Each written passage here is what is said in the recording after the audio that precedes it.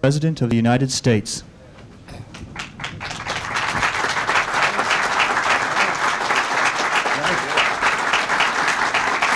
You do. Thank you. Thank you very much.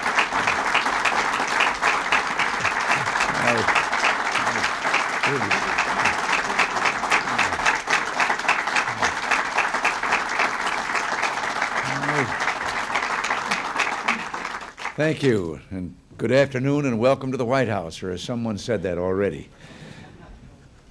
Well, first, let me thank Red Cavaney for the outstanding work that he's doing as chairman of the Deficit Reduction Coalition. And I want to thank all of you here today.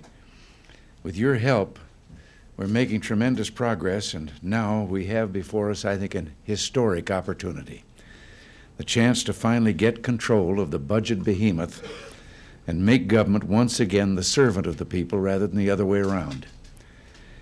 And I think Bob Dole deserves special thanks and appreciation for his leadership role on this issue.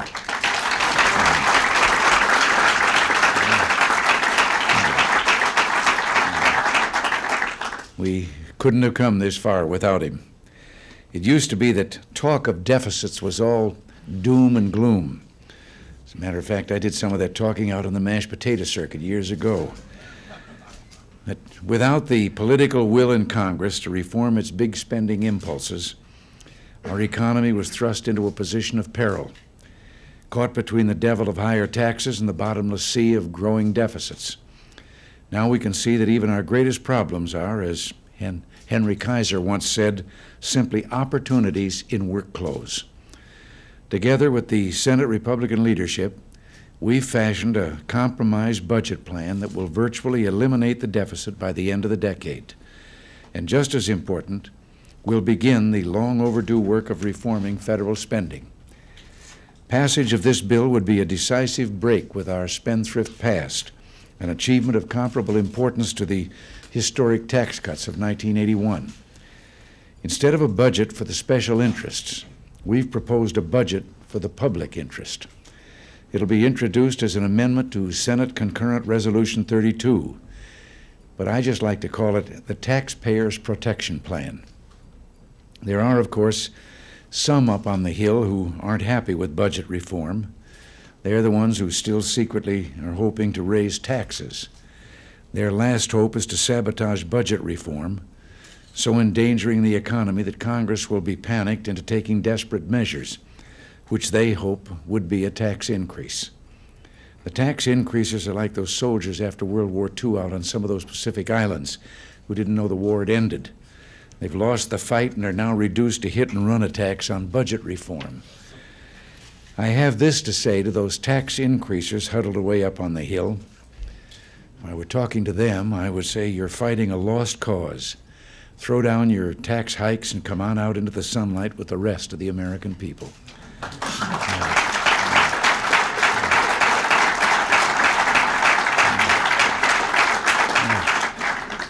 Get on the Taxpayers Protection Plan and join us in celebrating the return to fiscal sanity and a strong, healthy economy.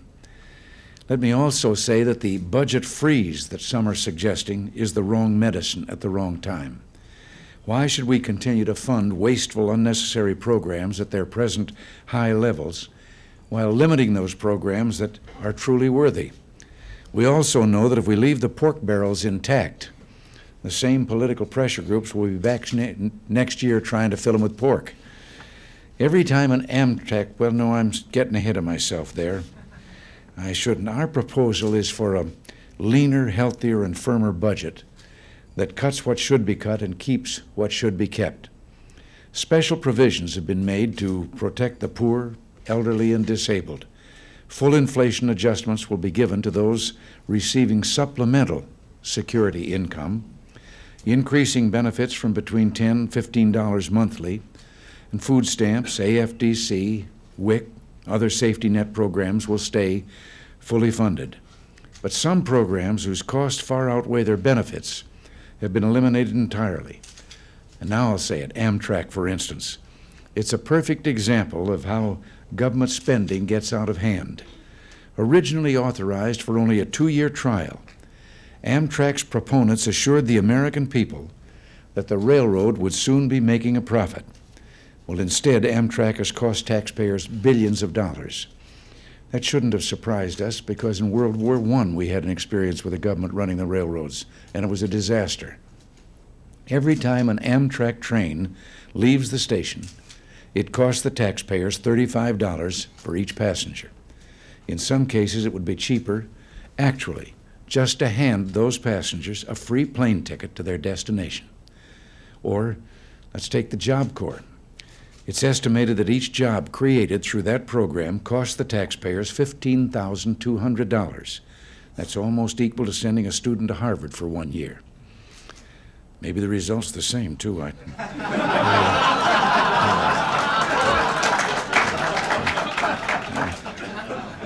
the, I won't look at Don Regan.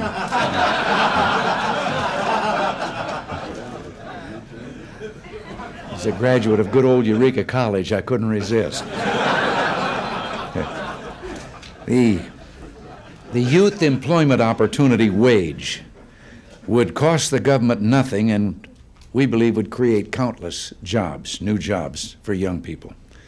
The Small Business Administration is another example of government poking its nose into areas where it has no business, if you will excuse the pun. Since the tax cuts took hold, this country has become the undisputed world leader for business creation. Over 600,000 businesses were incorporated in 1983, an all time record, and it looks like 1984 will turn out to be another, have been another record year.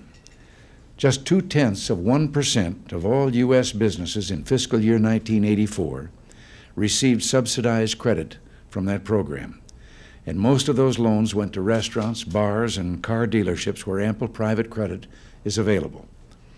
Other major programs in the Taxpayers Protection Plan have been reformed on the theory that it isn't fair to have people with low incomes subsidize special programs for the well to do. College student aid, for instance, will still be provided to low and middle income families, and this aid will cover the full cost of attending public colleges but aid to the well to do will be scaled back. As the law stands now, low income taxpayers who may not be able to afford college for their own children are helping subsidize the education of children whose families make as much as $100,000 a year. Now, unlike the current law, our bill would guarantee at least a 2% increase in Social Security benefits, more if inflation picks up while the low income elderly and disabled will receive full, as I said before, cost of living adjustments. Throughout the budget process, defense spending has been the favorite scapegoat of those unwilling to make necessary reforms. The compromised defense appropriations of the Taxpayers Protection Plan allows us to keep the vital work of building up our defenses on track. We can feel secure with these spending levels. But I think it's clear that any further cuts could derail our defense program, cause expensive delays and inefficiencies, and very likely undermine our national security. After almost two decades in which it seemed that Congress had lost control of spending, the Taxpayers Protection Plan is the first step to regaining that control and earning the respect of the American people. It's a model of what the democratic process can achieve, the result of intensive negotiation and compromise it addresses a serious problem fairly, fairly and protects our national security and makes special allowance for the poor and needy. Most important, it breaks apart the congressional spending machine, and when combined with tax reform and substantial tax rate reductions, it will open the door to a growing, prospering, prosperous economy through the end of the decade and beyond. We couldn't have gotten this far without your help. And as I've said before, if we can't make Congress see the light, we make them feel the heat. I want to, I have another issue, but before I take that one up, I just want to tell you that yesterday two young congressmen came into my office, one of them a freshman congressman, and they handed me a letter. It contained 146 signatures and a promise, exactly the number of signatures were on that letter which promised to uphold a veto of any tax increase that I might make.